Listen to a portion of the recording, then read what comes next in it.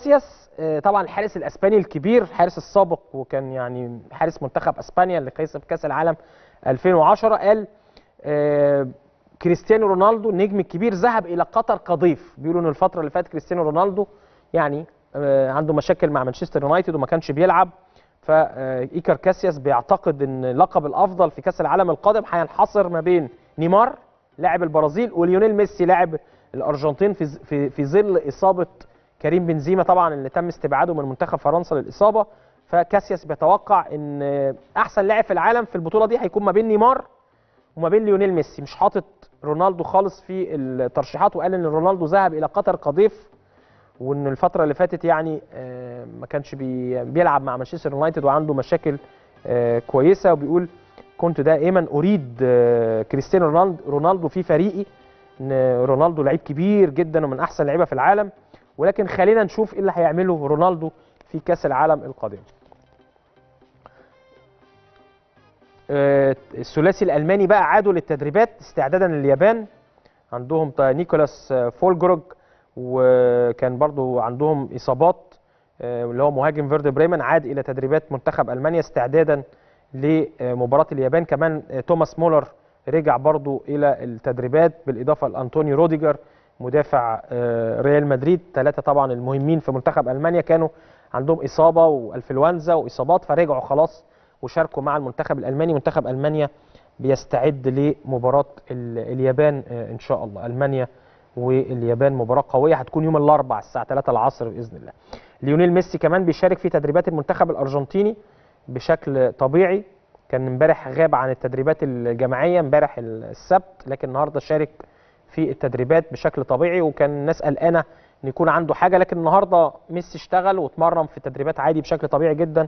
فيعني خلاص الكل اطمن في الأرجنتين إن ميسي مع الأرجنتين في مباراة السعودية يوم الثلاث اللي جاي آه، بعد بكرة. طبعا أكيد الناس في السعودية وإحنا كعرب بندعي إن ميسي ما يلعبش ماتش السعودية لكن ميسي رجع للتدريبات يعني.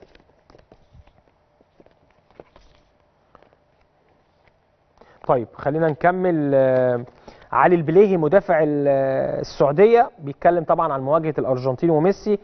قال إحنا بنلعب ضد منتخب مش ضد لاعب واحد. يعني قال لك إحنا مش مركزين مع ميسي إحنا مركزين مع منتخب الأرجنتين اللي إحنا مش هنلاعب لاعب إحنا مش هنلاعب ميسي إحنا هنلاعب منتخب آه، الأرجنتين. وقال كمان البليهي مدافع المنتخب السعودي إحنا 11 هيلعب ضد 11 آه، وبيقول كمان إن هو مهتمين ومتفرجين كويس جدا على منتخب الأرجنتين ويتمنوا إن هم يعملوا مباراة كويسة. وإحنا إن شاء الله يعني نتمنى إن السعودية تظهر بشكل مميز أمام الأرجنتين يوم الثلاث بإذن الله. النهارده برضو الرئيس التونسي آه، عمل رسالة حماسية كده للاعيبة نسور قرطاج لعيبه طبعا المنتخب التونسي.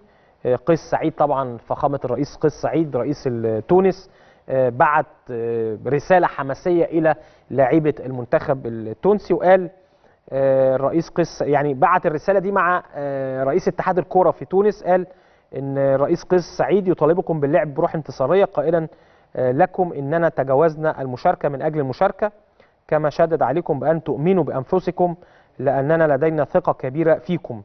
وقال كمان إن الرئيس ذكر رئيس الاتحاد التونسي بمباراة تونس والجزائر في نهائي البطولة العربية وقال إن الخسارة كانت بطعم الانتظار الانتصار لذا فهو يطالب بأن تلعب جميع العناصر بروح عالية وأن يكلل أن يبلل كل لاعب قميصه بالعرق.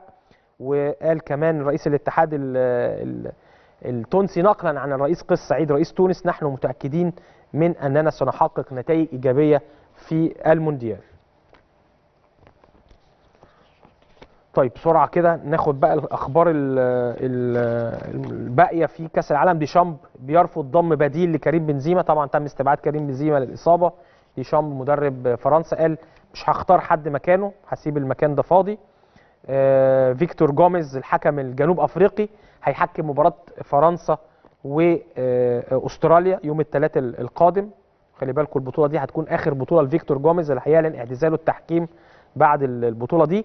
آه، عايز برضه أكلمكم عن فرنسا. كامافينجا لاعب المنتخب ال- الفرنسي غاب عن تدريب منتخب فرنسا قبل مواجهة أستراليا.